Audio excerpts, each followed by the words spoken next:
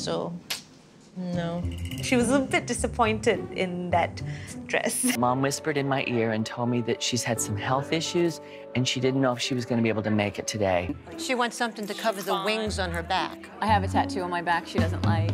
Ideally, we'd like to cover those wings. I feel beautiful. I feel, I love this dress. Beautiful. Love it. Love the dress. So bright. Draping in the back and it offsets the wings. I don't like it. I don't like the dress. I'm saying yes to the dress. oh my Number three, marrying into royalty. In Say Yes to the Dress Asia, we are swept in the fairy tale journey of Bride Poteri, a bride with an endless budget who sets out to find her dream dress. The royal setting of this show makes it stand out. Poteri is not just any bride. She is a real-life princess bride who is going to marry a king or queen.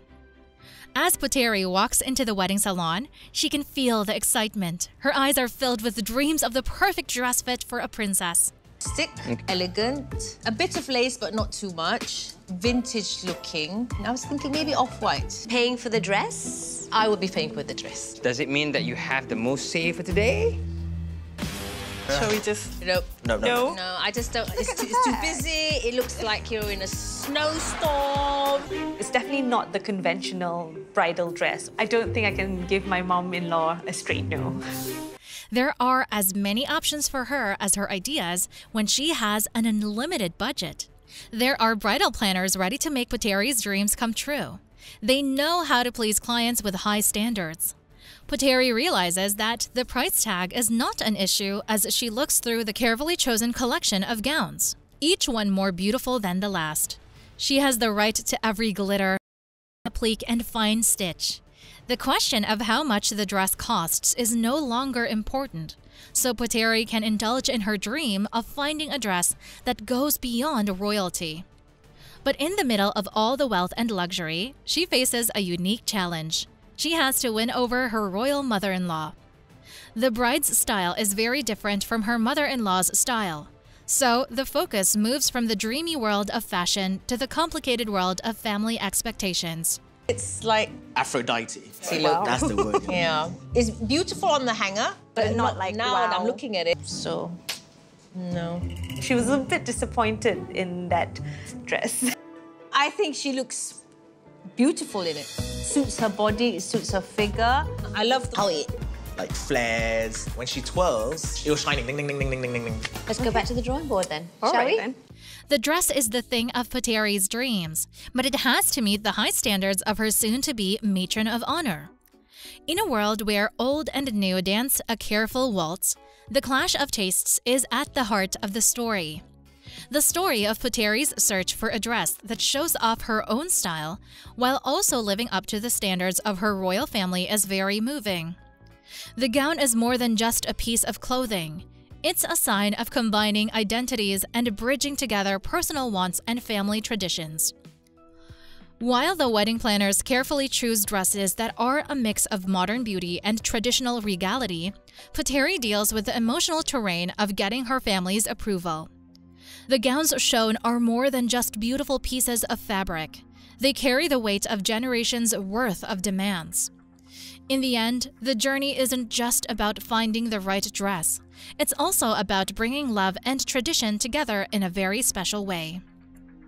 With Poteri's infinite budget, a gown is made that has more meaning than its monetary value. It becomes a physical representation of a bride's hopes and a family's history. The bride turns down the first three dresses, but then she finds the right dress for an outdoor wedding, and her friends and family agree. Dress is 17,800 ringgit. I'm not so sure about my mother-in-law. And money's not an issue. I guess I'm ready to make a decision then. Ah, okay, that's nice. Okay. All right. Yes, I'm saying yes to this dress. Number 2. Sick Mom. In a touching episode of Say Yes to the Dress, it's not the beautiful wedding dresses that steal the show, but a sick mother whose performance was in doubt because of her health. Bride Riley Wolf goes on an emotional trip to find her dream wedding dress. But it's her unexpected reunion with her sick mother that turns the day into a memorable celebration of love and strength. At the start of the show, Riley walks into the famous Kleinfeld bridal salon, excited and ready for what's to come. But the happiness is mixed with worry, because her mother's health problems make it uncertain whether she will be able to attend. Riley's search for the right dress is made more difficult by the fact that she is feeling very sad about the situation. While Riley looks at the many wedding dresses, she can't help but think about how unclear it is that her mother will be able to be there. Kleinfeld's bridal planners, who are known for being empathetic and understanding, find this delicate balance and make sure that Riley's journey is both happy and kind. Okay. Oh my gosh. And you guys. We're still gonna be a minute. it's like a going away party. Mom whispered in my ear and told me that she's had some health issues and she didn't know if she was gonna be able to make it today through. Before they walk into the door, I have to make sure that she really has a special day. So now that you're in it, what Yeah. do you think? I like it more than I thought I was going to. It's Yeah. a lot of fabric. The episode is beautifully put together around Riley's trip with her sick mother. The bride's unwavering support for her mother during hard times is emphasized, creating a story that goes beyond the search for the right dress. Even though the gowns are beautiful, they are just small parts of a family's journey through hard times and happy times. The tears running down Riley's mother's face as she finally puts on a dress that amazes her show not only how beautiful the dress is, but also how deeply emotional this event is for her. I feel beautiful. I feel I love this dress. Beautiful. Love it. Love the dress. So bright. yep. That'll work, I guess. It'll do. If it's all you've got. Only Are you saying yes to the dress? Yes, I am Riley's mom. I came here knowing you were gonna look good. be too much with like a tiara and a veil. Would that be costumey or would that be Leave that up to me. Okay. The perfect dress becomes a sign of strength, love, and the unbreakable bond between a mother and a daughter. The way the episode plays out shows how weddings can change people, not just as acts of union, but also as events that go beyond dresses and decorations. Riley's trip turns into a celebration of how strong family ties are and how you can find happiness even when things are bad. People who watch the episode finally learn that real beauty isn't just in the fabric and design, but in the love that goes into every stitch. This is shown when Riley says yes to the dress that represents her whole journey. Great experience, and it looks like mom's really enjoying today, and I think she's, I think she deserves it.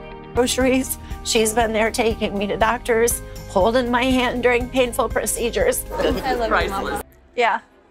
Yeah, this is it. So, what do you guys think? Should we ask her the question? Oh, yeah. I'm saying yes to the oh my gosh. Number 1. Covering the tattoos. A bride's wedding day is an important event in her life that she will always remember. She has been picturing every part of this day for years, right down to picking out the perfect outfit. Having said that, it's not unusual for moms and children to have different ideas about wedding dresses.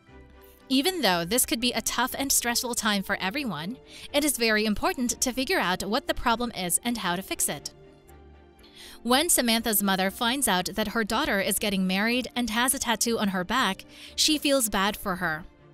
Samantha is over the moon when she finds the wedding dress of her dreams. But her mother is determined to hide the tattoo because she thinks it looks bad and will ruin the dress. She wants something to cover the wings on her back. I have a tattoo on my back she doesn't like. Ideally, we'd like to cover those wings. When you get married, those wings are gonna ruin your gown. In this. Yeah. Your wings are showing. I said the whole Draping in the back and it offsets the wings. I don't like it. I don't like the dress. Samantha really wants to wear a dress that will make people notice her tattoo, even though her mother strongly advises her not to. While they are looking at clothes, Samantha suggests that she try on a shorter dress. But her mother is sure that she should wear a traditional long gown instead. Their tension grows when Samantha tries on a long Reem Acra dress that shows off her tattoo. Her mother is shocked and tells her daughter how much it bothers her. She also tells her daughter that getting wings tattooed is wrong and that she should never do it. After that, Samantha tries on a shorter dress. To her daughter's surprise, her mother thinks the wings look good with it. Even so, she still insists on wearing a long dress. When the argument gets heated, the wedding planner steps in and suggests adding a skirt that can be taken off to the shorter dress. Samantha doesn't like the solution because she thinks the dress should be worn just the way it is. But her mother and daughter feel bad about giving in and accepting it. A ball gown every day. It's just not me. I don't feel like me in it. Okay, okay let's turn your head.